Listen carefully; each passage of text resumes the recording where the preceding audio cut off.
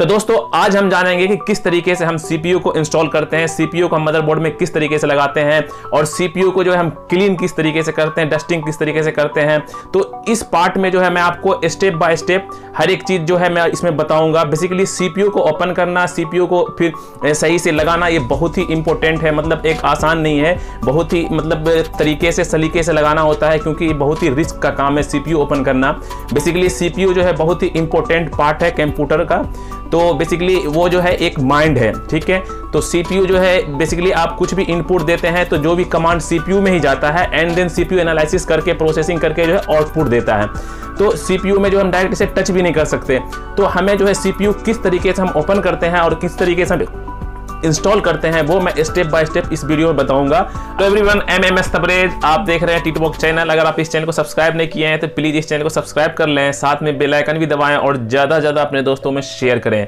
तो दोस्तों, ये पार्ट नंबर थ्री है। अगर आप पार्ट नंबर वन और पार्ट नंबर टू नहीं देखे हैं तो प्लीज़ आप इस आइकन बटन पे क्लिक करके पार्ट नंबर वन और पार्ट नंबर टू देख सकते हैं। तो घर बैठे आप जो है, आसानी से सीपीयू में अगर डस्ट सीपीयू में डस्ट ज़्यादा हो गया है, या फिर आपको उसको क्लीनिंग करना है, ठीक है? कंप्यूटर कभी कभी ऐसा होता है कि दो से पाँच मिनट चलता है, बंद हो जाता है। तो ऐसे सब सिचुएशन में जो है बेसिकली कंप्यूटर में जो है मदरबोर्ड पे या सीपीयू पे डस्ट ज़्यादा हो जाने की वजह से वो हीट होने लग जाता है। तो आपको जो है ये वीडियो बहुत ही काम आने वाला है तो इस वीडियो में अंत तक बने रहें। मैं आपको एक स्टेप बाय स्टेप किस तरीके से हम सीपीयू क्लीन करते हैं, किस तरीके से सीपीयू को ओपन करना है, किस तरीके से सीपीयू को लगाना है, वो मैं स्टेप बाय स्टेप इस वीडियो में बताने वाला हूँ। तो इस वीडियो को अंत तक बने रहें। तो चलिए शुरू करते हैं, हम किस तरीके से सीपीयू लगाते हैं और ओपन करते हैं। मेरे पास सीपीयू आ गया है, आप ये देख सकते हैं। ठीक है? अब इसे कैसे ओपन करना है, कैसे करना है, मैंने पार्ट नंबर टू में बता रखा है। मैं इसको ऑलरेडी खोल रखा हूँ। ये देखिए, मैं इसको हटाता हूँ। ये देखिए सीपीयू ऑलरेडी जो है मैं ओपन कर रखा हूँ। ठीक है? मैं इसमें जो है अब आपको बताऊँगा किस तरीके से हम सीपीयू ओपन करते हैं, किस तरीके से लगाते हैं, ठीक है? तो ये जो है, देखिए खुला हुआ है ओपन है, ठीक है? ओ भाई, बहुत सारा इसमें डस्ट है। आप देख सकते हैं किस तरीके से इसमें धूल भरा हुआ है। डस्ट से जो है ये पूरी अगर इस तरीके से आपके कंप्यूटर में भी डस्ट होता है तो समझ सकते हैं कि ये कंप्यूटर जो है बेसिकली हीट होने लग जाता है डस्ट ज़्यादा होने की वजह से सीपीयू जो है हीट होने जब सीपीयू हीट होगा तो ज़ाहिर सी बात है आपका कंप्यूटर जो है बीच बीच में बंद होने लग जाएगा या हैंग करने लग जाएगा तो इसके लिए जो है आपको इसको क्लीन करने के लिए जो है एक आता है वैक्यूम क्लीनर ठीक है वो जो है आप ये देख सकते हैं यहाँ पे मैं इमेज दे दिया हूँ वैक्यूम वैक्यूम क्लीनर से भी आप क्लीन कर सकते हैं इसे। बेसिकली जब इसकी ज़रूरत तब पड़ती है जब ज़्यादा आपके कंप्यूटर में डस्ट भर जाए, ठीक है? क्योंकि उसी से जो है आप जब साफ़ करेंगे तो ये सही से साफ़ हो सकता है। अगर आपको हार्डवेयर इंजीनियर बनना है तो आपके पास जो है ये वैक्यूम क्लीनर या ब्लोअर होना बहुत ज़रूरी है। या फिर अपने घर में भी बेसिकली इसको रख सकते हैं, क्योंकि हर एक आदमी घर में कंप्यूटर होता है तो आप जो है ये रख के जो आसानी से इसे जो है क्लीन कर सकते हैं। ये बिल्कुल ही आसानी से इससे जो है क्लीन हो जाता है। वैसे इसे आप ब्रश से भी साफ़ कर सकते हैं। अब चलिए इसे खोलना कैसे, वो बताता हूँ। ये देख सकते हैं, यहाँ पे ये लॉक है, ठीक है? इस लॉक को जो एक एक करके हम ओपन करेंगे। ये देखिए, इस तरीके से इसे पुश करेंगे। एरो होता है एरो जिस तरीके से एरो जिधर है, उधर ही हम इसको घुमाएँगे। इसे भी हम इसे घुमा देते हैं, ठीक है? और ये ये ये देखें, ठीक है? हम रैम यहाँ पर हटा देते हैं। रैम बेसिकली हमें दिक्कत करता है ओपन करने में, ठीक है? ये एरो के साइड हमें इसे पुश करना है। इसे कर दिया। इधर भी एरो के साइड पुश करना है। ये एरो के साइड इसे जो है, मैंने इसको पुश कर दिया, ठीक है? और इसे अब जो है, आसानी से उठा लेंगे। बेसिकली ये इंटेल का प्रोसेसर है। अलग अलग प्रोसेसर जो होते हैं, वो अलग अलग जो है होता है सिस्टम इसमें जो है इस तरीके का इंटेल बेसिकली आता है, ठीक है? तो हम इसे पुश करेंगे, उठा लिया इसको, ठीक है? अब इसको जो इधर से ये करेंगे ये करेंगे। उसके बाद इसको भी हम इस तरीके से उठा लेंगे, ठीक है? और ये आसान से जो आसानी से जो ऊपर उड़ जाता है। देखिए, ये देखिए, ये ओपन हो गया, ठीक है? तो ये बेसिकली जो है, ये ये जो है प्रोसेसर के ऊपर जो है, ये सेट हुआ हुआ होता है, ठीक है? इसी के ऊपर ये कंप्लीट सेट रहता है। इसके, ये जो है ना, ये इसके ऊपर जो है हीट सिंक सोल्यूशन होता है थर्मल पेस्ट कहलाता है, जो यहाँ पे चिपका हुआ होता है, ठीक है? तो हम जब कभी भी इसे ओपन करेंगे, ये आप देख सकते हैं, अगर यहाँ पे आपको थर्मल पेस्ट नहीं है हीट सिंक नहीं है तो जो है ये ज़्यादा हीट होता है, ठीक है? तो ये इस पे चाहेंगे तो आप जो है हार्डवेयर दुकान से जाके जो है एक पंद्रह बीस रुपये का शायद आता होगा ये थर्मल पेस्ट तो आप जो है वो आपको लगाना ही, ये लगाना बहुत ही कंपलसरी है, क्योंकि अगर आप ये नहीं लगाते हैं तो ये बेसिकली क्या है सीपीयू में जो और इसके दरमियान में जो स्पेस होता है, उसको खत्म करता है, ठीक है? तो अगर थोड़ी बहुत भी स्पेस रह जाएगी तो फिर वो जो है दिक्कतें आती है। फिर वो जो है सीपीयू, आपका प्रोसेसर जो है सही से काम नहीं करेगा। तो हमें जो है थर्मल पेस्ट लगाना बहुत ही ज़रूरी है। बगैर थर्मल पेस्ट का जो है, आप इसको लगा ही नहीं सकते हैं। तो हमें ये भी जो है देखना होता है। दोस्तों, ये देख सकते हैं, ये जो लॉक होता है सीपीयू फ़ैन का, इसे जो है हमें बहुत ही सलीके से निकालना होता है। अगर ये टूट गया सपोज़ लिया जाए तो ये जो है बेसिकली सीपीयू पे जो है सही से ये फिट नहीं बैठेगा। जब फिट नहीं बैठेगा तो सीपीयू और इसके फ़ैन के दरमियान में जो है स्पेस आ जाएगा। जब स्पेस आ जाएगा तो फिर ये दिक्कतें करेगा। तो हमें जो है ये लॉक लॉक जो है बिल्कुल ही सही से, सलीके से लगाना होता है। जब भी आप लगाएँ तो बहुत ही ध्यान से और इसको जो है आप जब भी मतलब लगाना हो तो मैं आपको बता देता हूँ कि पहले मदरबोर्ड जो है आप खोल लें, उसके बाद जो है इसको लगाएँ। क्योंकि जो आप शुरू शुरू में लगा रहे होते हैं तो ये चीज़ें जो है नीचे से सही से ये पिन जो है इसका बैठता नहीं है तो वो चीज़ें दिक्कतें आ जाती है तो इस चीज़ का आप जो है ख्याल रखें कि जब भी आप प्रोसेसर पे जो है ये फ़ैन लगाएँ तो ये जो है प्रॉपर तरीके से जो है आपका ये पिन जो है ये पिन ये प्रॉपर तरीके से जो इसमें फिट बैठना चाहिए अगर ये प्रॉपर तरीके से फिट नहीं बैठेगा तो ये जो है इसके दरमियान में जो है स्पेस आ जाएगी स्पेस आ जाएगा तो फिर जो है आपका कंप्यूटर चलेगा चलेगा और बंद हो जाएगा ठीक है दोस्तों तो ये लॉक का जो है बिल्कुल ध्यान रखना होता है ये जो है, इसमें लगता है ये चार हॉल है। ये देख सकते हैं, ये चार हॉल में जो है अच्छे से फिट करना होता है। अब ये प्रोसेसर को जो हम पहले डस्टिंग कर लेंगे और इसको डस्टिंग करते पहले ओपन नहीं करेंगे। ओपन करने से पहले इसे जो है, मुझे अच्छे तरीके से जो है, इसे हमें क्लीनिंग करना पड़ेगा। अगर आपसे क्लीनिंग नहीं, पहले ऊपर से जो है, हमें क्लीन क्लीन कर लेना पड़ता है। क्योंकि अगर आप इसे खोल के तब आप जो है इसे क्लीनिंग कर ही नहीं सकते। क्योंकि इसमें थोड़ी बहुत भी, एक भी डस्ट चला गया तो आप जो है ये आपका प्रोसेसर काम नहीं करेगा।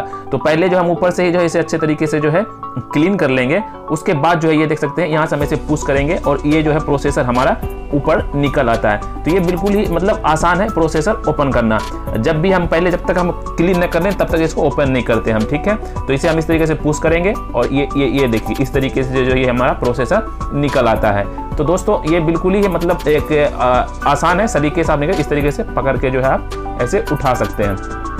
तो ये जो है कोई मतलब ये नहीं है, आप जो है आसानी से जो है कोई भी आदमी जो एक बार देख लेगा इस वीडियो को तो देख के जो आराम से इस तरीके से पकड़ के हमें उठाना है। और कभी भी जो है आप ऐसे ओपन हाथ से जो है उसे नहीं उठाना है, ग्लव्स पहन के ही जो है आपको ये प्रोसेसर बेसिकली उठाना है।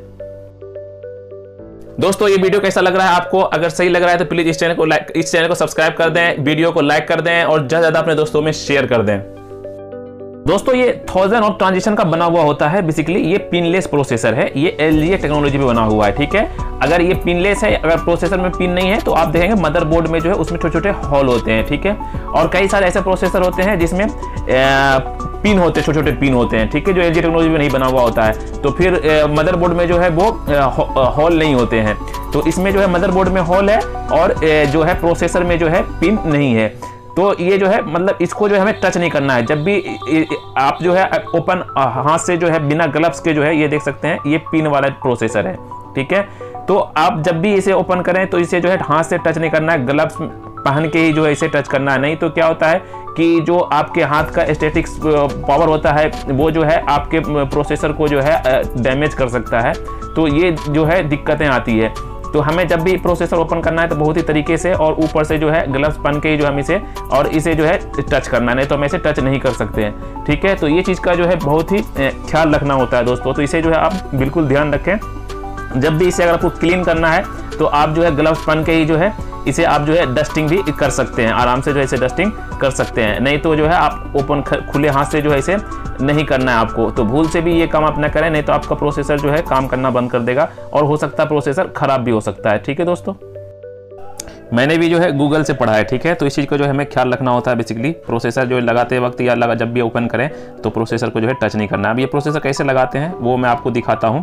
ये देखिए, इस तरीके से जो हम प्रोसेसर को जो है, जैसे हम ओपन किए हैं, उसी तरीके से हम इसे जो है, हमें लगाना होता है। इस चीज़ का जो है बेसिकली जब भी आप प्रोसेसर ओपन करेंगे तो उस चीज़ का ध्यान रखना होता है कि बेसिकली हम फिर से आपको दिखाते हैं बेसिकली किस तरीके से हम जो है लगाते हैं। ये नोच देख रहे हैं? इसी तरीके नोच जो है रैम में होता था तो रैम में भी होता है। तो हमें ये नोच को जो है देख के ही इसी तरीके से जो है इसको हमें लगाना होता है। तो ये इस तरीके से जो है ये नोच, ये देखिए नोच है, ये नोच पे हमें सेट कर देना है। उसके बाद ऊपर से जो है इसको ये नोच, ये ये इस तरीके से जो है इस पिन पे जो है इसको लग जाता है और यहाँ से जो हम इस तरीके से इसको फिट कर देते हैं। तो ये प्रोसेसर बेसिकली जो है हमें, हमारा जो ये प्रोसेसर लग गया है। दोस्तों, हम प्रोसेसर तब क्लीन करते हैं जब हमने रैम को भी क्लीन कर लिया मदरबोर्ड को भी क्लीन कर लिया और बिल्कुल डिस्प्ले नहीं आ रहा है। तब जाके जो हमें ला तब जाके जो हमें जो है प्रोसेसर क्लीन करना होता है। अगर प्रोसेसर क्लीन करने के बाद भी जो अगर आपका डिस्प्ले नहीं आ रहा तो लास्ट जो है ऑप्शन है, वो है आपका एस एम पी एस तो हमें एसएमपीएस चेक करना होता है। अब इसको जो है, हम ये फ़ैन ऊपर, ये फ़ैन पे जो हम पहले उस पर पेस्टिंग कर लेंगे, जो हमारा आता है थर्मल पेस्ट वो लगा लेंगे। उसके बाद जो है, हम उसे उस पर लगाएँगे। तो हम जो है, आपको किस तरीके से हम ये फ़ैन लगाते हैं तो चलिए वो जो है, मैं आपको दिखाता हूँ फ़ैन भी लगाने के लिए। ठीक है दोस्तों? अब हम इसको जो है सही से फिट करके सीपीयू फ़ैन जो है वो फिट करके आपको दिखाते हैं और ये मदरबोर्ड खोलना बहुत ही आसान है। ये चार स्क्रू होता है, आप आसानी से जो है खोल सकते हैं। तो ये जो है अब किस तरीके से हमें लगाना है वो मैं आपको बताता हूँ। क्योंकि ये चारों पिन जो है मुझे अच्छे से लगाना होता है। मैं इसलिए मदरबोर्ड को ओपन कर लिया हूँ, क्योंकि आप जब फ़र्स्ट टाइम लगा रहे होते हैं तो मैं इसलिए आपको बता रहा हूँ कि आप जब भी लगाएँ तो इसको मदरबोर्ड को पहले ओपन कर लें चारों पिन देख रहे हैं चारों पिन जो है सही से, ये चारों पिन जो हमें सही से जो है उसमें फिट करना होता है। अगर आप सही से फिट नहीं करेंगे तो ये सही से लगेगा नहीं तो फिर दिक्कतें आ जाएगी। तो हमें जो है इसे देख के अच्छे से जो है मतलब सही से जो है ओपन कर, जब हम कर लेते हैं मदरबोर्ड को तो हमें उसमें लगाना बहुत ही आसान हो जाता है। तो चलिए मैं इसको दिखाता हूँ, किस तरीके से जो इसको हम फिट करते हैं। तो ये आप देख सकते हैं, ये जो, ये पॉइंट है, इस पॉइंट को जो है हम पहले यहाँ अंदर में इस तरीके से हम इसको इंसर्ट करेंगे। और जैसे ये ये पॉइंट है, ये जो है आसानी से ये जो, ये पॉइंट है, ये टूटना नहीं चाहिए, क्योंकि हमें ये देखना होता है कि अगर ये टूट गया तो फिर दिक्कत, ये देखिए, हम इधर पुश किए इधर ये बाहर आ गया, ये अच्छे से जो है लग गया। इसी तरीके से ये दूसरा भी जो है हम इस तरीके से पुश करेंगे, इसको भी हमने लगा दिया। और ये देखें, तीसरा भी जो है हम सही से इसको फिट करेंगे। ठीक है? तो ये जो है, ये ये देखें, ये जो है इस तरीके से जो है लग गया है, ठीक है? और ये लगने के बाद जो है हमें क्या करना है? इसमें जो है ऊपर का जो देख रहे हैं आप, ये जो ऊपर का जो पिन है, हमें उस पिन को जो है पुश करना होगा। तो ये चारों लग गया है मेरा, ठीक है? चारों लगने के बाद जो है हम क्या करेंगे? ये देखें, ये प्रॉपर तरीके से जो है लग गया है। अब लगने के बाद ये पुश कर दिया। ये लग गया, ठीक है? और इसको जो है एरो को जो हम इस तरीके से घुमा दिया। तो ये भी जो है, हमारा लॉक हो चुका है। फिर इसी तरीके से इसको भी हम करेंगे लॉक कर दिया है। ये देखें। फिर इसी तरीके से जो है, इसको भी एक एक करके जो मैं आपको बता रहा हूँ कि आप जो है, आसानी से इसको कर सकें और ओपन करने में भी आपको लगाने में दिक्कत, ये देखें। ये चारों में जो है, एक नीडल होता है, वो जो है, इसमें आके लॉकर होता है, वो लॉकर आके लग गया है। अब ये फिक्स हो गया। आप इसको कितनों भी इस तरीके से करेंगे, ये देखें। मदरबोर्ड को आप कितना हिलाएँगे तो ये जो है मतलब जो है, अच्छे से पकड़ लिया है। अब ये जो है फिक्स हो गया है। अब इसमें जो है, अब कोई भी जो है स्पेस नहीं बचेगा सीपीयू और उसके दरमियान। तो ये फिक्स हो गया है। तो देख सकते हैं दोस्तों आप। तो दोस्तों, ये रहा आपका कंप्लीट जो है, किस तरीके से हम सीपीयू ओपन करते हैं और फिट करते हैं। तो ये जो है, हम जो है आपको पूरा दिखा दिया है, किस तरीके से जो हम सीपीयू फिट और ओपन करते हैं। ठीक है दोस्तों?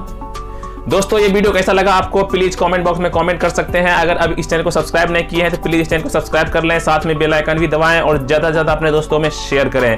हार्डवेयर ट्यूटोरियल पार्ट फोर में हम जानेंगे कि किस तरीके से रैम ओपन करते हैं और रैम को किस तरीके से हम क्लीनिंग करते हैं। तो उस पार्ट में जो है, मैं आपको पार्ट नंबर फोर में रैम के बारे में बताऊँगा। स्टेप बाय स्टेप किस तरीके से हमें रैम अपने घर पे, अपने सिस्टम से ओपन करना है, किस तरीके से फिर रैम को जो है लगाना है और किस तरीके से उसे डस्टिंग करना है। थैंक यू फॉर वॉचिंग जय हिंद।